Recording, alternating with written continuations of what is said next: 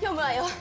今月からバンドリ TV の MC がアイミーアミタになりました、はい、しかし2人のフィーリングが合っているかどうかは未知数です。そこで2人でお題を出し合ってせーので答えてください。5回同じ答えを出すまで番組を始めることはできません。え？え？5回も？えー、そんなフィーリングなんて試さなくても合ってると思うんだけどな。そうだよねでもまあ始められないっていうならやってみる、うん、まあ5回連続でねスッと出して番組始めちゃう？当然です。うん。じゃあね交互にいくよ。オッケー。おにぎりの具といえば？せーの鮭。どうしようどうしよう。じゃあお味噌汁の具といえば？せーの豆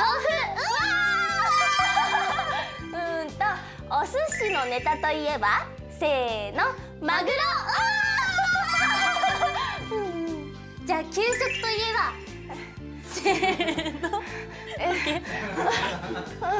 給食といえばせーの。イカリング。イカリング。給食イカリング。えー、えっと若者言葉といえばせーの。やばい。ちょっと時代がちょっとあれだった京都のお土産とい。えばスケッチャーそこはやつ秋とい。えば紅葉そっちか。海外旅行に行くといえばハワイ！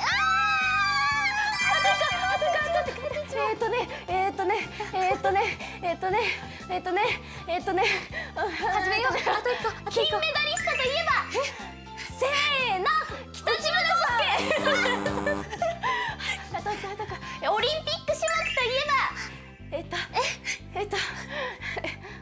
種目。さっきの？さっきの？オリンピック。あせーの。